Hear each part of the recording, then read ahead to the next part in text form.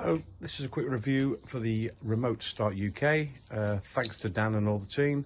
Uh, here's a quick demo. It's lock, unlock, lock.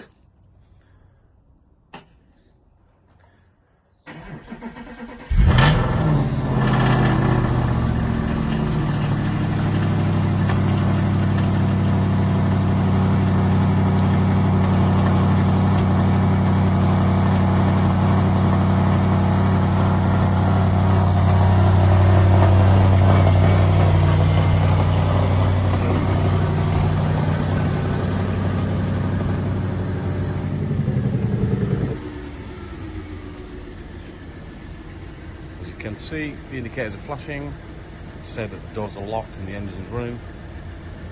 And it's now running for 15 minutes until I uh, enter the car. Okay, I'll just do you a quick demo to stop it, and it's the same again. Lock, unlock, lock, and the car will turn off.